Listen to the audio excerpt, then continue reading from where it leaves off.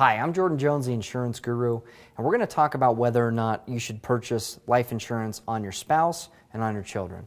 And the answer, in most cases, is absolutely yes, you should. You're going to want to purchase insurance, life insurance on your spouse and children because think about what would happen to you if you lost one of those significant people in your life.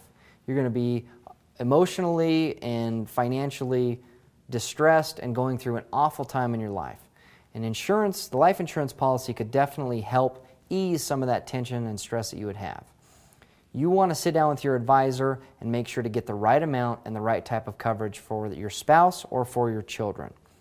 Depending on if you're the breadwinner on your family, you may want to decide on if you'd want to take a few years off of work, provide for nanny care and burial services, and whatever else it may be you want to provide in the event of a death and a tragic incident in your family.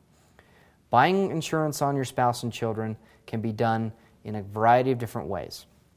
You can purchase a permanent policy or a term policy on your spouse and add children as a rider to the term policy, or you can purchase a permanent policy at a very low cost on each children. This is something that I often meet with clients and it's overlooked on whether or not they buy in life insurance on their spouse and children, and I highly recommend that you do this in the event that something were to happen. I'm Jordan Jones, the insurance guru. If you have any questions, contact me. And we just talked about whether or not you should buy insurance on your spouse and children.